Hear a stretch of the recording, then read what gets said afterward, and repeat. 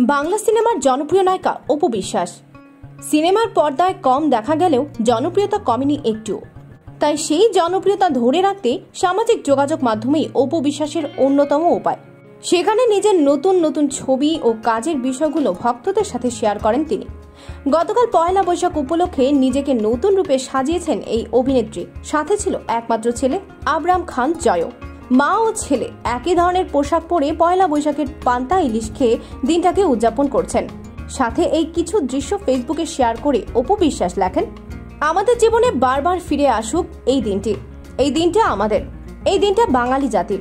Happy পয়লা বৈশাখ, চোদ্দশো আঠাশ। দর্শক, এই দিনে অপু জয়কে দেখা গেলেও শাকিব খানকে মিস করেছে ভক্তরা। অপু জয়ের সাথে শাকিব খান থাকলে দৃশ্যটা অন্যরকম লাগতো। ঠিক এমনটাই চায় শাকিব অপুর হাজারো দর্শক ও ভক্তরা। সবার একটাই আশা, জয় বড় হয়ে তার ভালোবাসা দিয়ে আবারও এক করবেন মা ও বাবাকে। তখন হয়তো আবারও একসাথে দেখা যাবে শাকিব অপু ও জয়কে।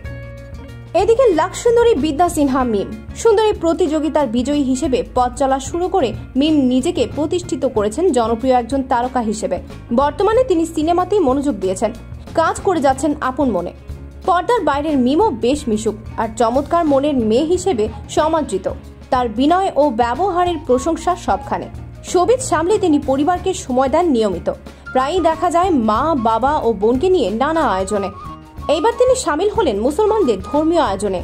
আজ চোদ্দ এপ্রিল প্রথম রমজানে ইফতারির ছবি পোস্ট করে দিলেন সম্প্রীতির বার্তাও। ধর্মের ভেদাভেদ ভুলে মিম যেন সবাইকে মিলেমিশে গড়ে তোলা অসাম্প্রদায়িক বাংলাদেশের চিত্রটাই তুলে ধরতে চাইলেন। আজ ইফতারের পর ফেসবুকে ছবি পোস্ট করেছেন। সেখানে মায়ের সঙ্গে দেখা গেল তাকে। সঙ্গে আরও তিনজন। ধারণা করা হচ্ছে নায়িকা ইফতারের দাওয়াতে ছিলেন। টেবিলে সাজানো বাহারি খাবারের ইফতার। আছে ফল, জুস, মুড়ি, বেগুনি। ক্যাপশনে লিখেছেন, প্রথম রমজানের ইফতার। মাত্র আধা ঘণ্টার মধ্যেই ছবিতে লাইক পড়েছে দশ হাজারেরও বেশি। অনেকে মিমের অসাম্প্রদায়িক চেতনার প্রশংসাও করেছেন ছবির নিচে মন্তব্যের ঘরে।